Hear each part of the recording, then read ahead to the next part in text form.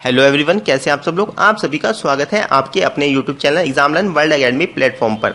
और बात करने वाले हैं इंपॉर्टेंट अपडेट के बारे में। काफ़ी सारे कमेंट्स हमें लगातार मिल रहे थे जीआईसी संबंधित अपडेट के बारे में जो पूछ रहे थे तो उसी के संबंध में आज का वीडियो है।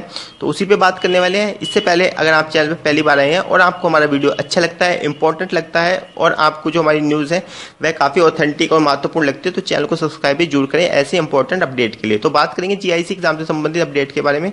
जैसे कि आपको पता है जीआईसी का एग्ज़ाम आपका बीस 20 जून को प्रस्तावित है और इससे पहले एक और परीक्षा है जो कि यूपी पीसीएस की परीक्षा है। तो ये दोनों ही परीक्षाएँ लोकसभा चयन आयोग द्वारा कराई जाती हैं। और हमने आपको पहले भी अपडेट किया था कि जो ये परीक्षाएँ हैं, अब निर्धारित समय पर नहीं हो पाएगी, लेकिन काफ़ी विद्यार्थी अपडेट न्यूज़ मांग रहे थे तो हम आपको बता दें, जो अभी एग्ज़ाम है यूपी पीसीएस का और जीआईसी का एग्ज़ाम, अब निर्धारित समय पर नहीं होगा, और ये कन्फर्मेशन भी आपको जल्दी देखने को मिलेगी।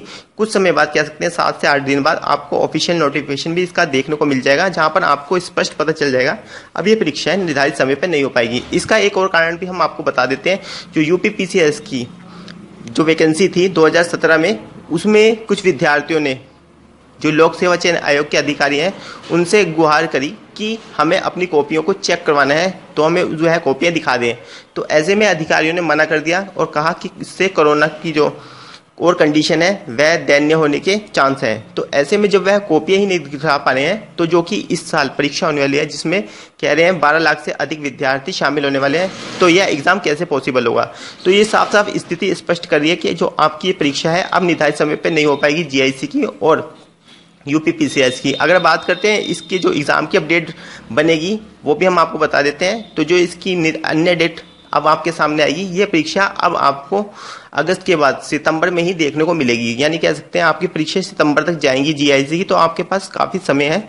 एक अच्छा मौका है, क्योंकि जो जीआईसी के एग्ज़ाम की परीक्षा होती है, काफ़ी महत्वपूर्ण और इम्पोर्टेंट होता है ये एग्ज़ाम, और काफ़ी इसमें आपको सहूलियत मिलती है। अगर बात करते हैं जीआईसी एग्ज़ाम और जूनियर एडिट शिक्षक भर्ती तो वह आपको पता है कौन सा एग्ज़ाम ज़्यादा बेटर है। इसमें जो आपका रिज़ल्ट है, वह छः महीने, कह सकते हैं आपको दो से तीन महीने बाद ही काफ़ी इसका रिज़ल्ट देखने को मिल जाएगा, जबकि जूनियर आई शिक्षा भर्ती है, वह आपको फंसती हुई दिख सकती है, लेकिन ये जो भर्ती है, यह बहुत ही अच्छे विभाग द्वारा होती है और बहुत ही जल्दी इसका रिज़ल्ट आपके सामने आ जाता है। तो बहुत अच्छा मौका है, आपको फिर से अधिक समय मिल रहा है, इसका पूरा यूज़ करिए। इससे संबंधित जो भी अन्य अपडेट आएगी वह भी हम आपको बताएँगे। आज के लिए इतना ही। वीडियो अच्छी लगी है तो लाइक करें, सब्सक्राइब करें और अपने फ्रेंड सर्कल में भी शेयर करें। आशा करते हैं आपको वीडियो अच्छा लगा धन्यवाद। आज